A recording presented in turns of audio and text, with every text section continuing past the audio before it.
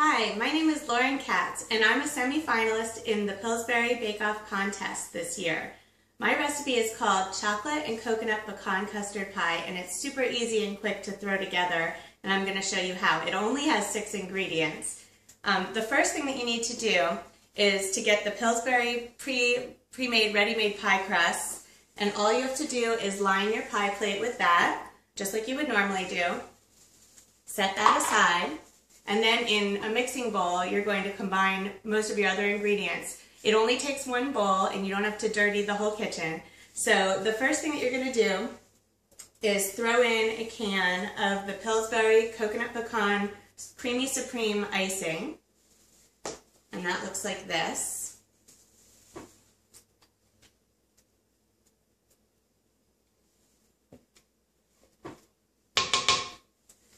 Then you're going to throw in a can of the Eagle brand sweetened condensed milk. The whole can, right on top of the icing. Make sure you get the whole thing in there. All right. Then you're going to put three eggs in. Always good to crack those into a separate bowl.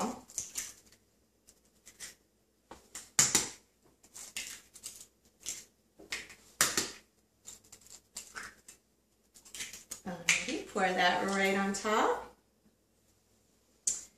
And then you can stir this with a spoon or a spatula. I find it's a little bit easier with a whisk. Eggs. Just takes a minute to stir it up until everything is smooth and combined. Okay. Then you're just going to throw in your chocolate chips, give it another little quick whisk.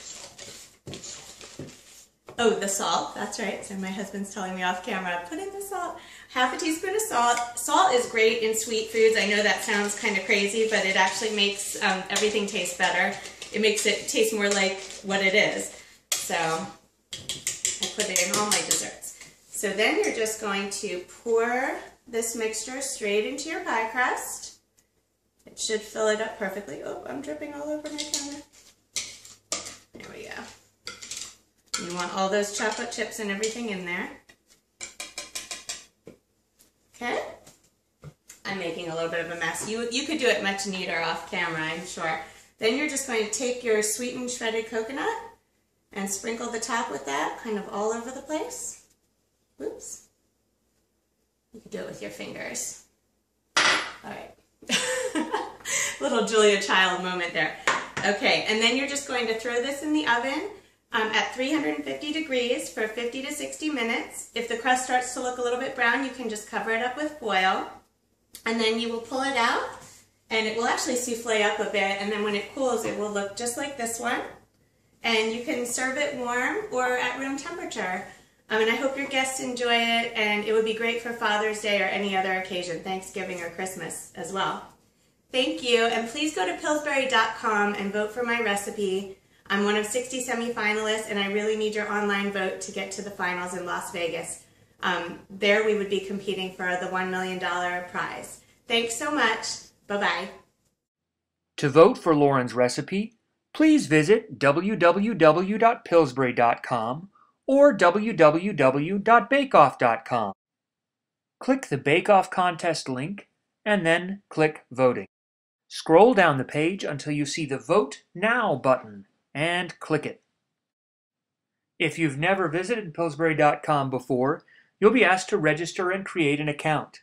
Please provide your email address, create a password, enter your birthday and zip code, and click Submit.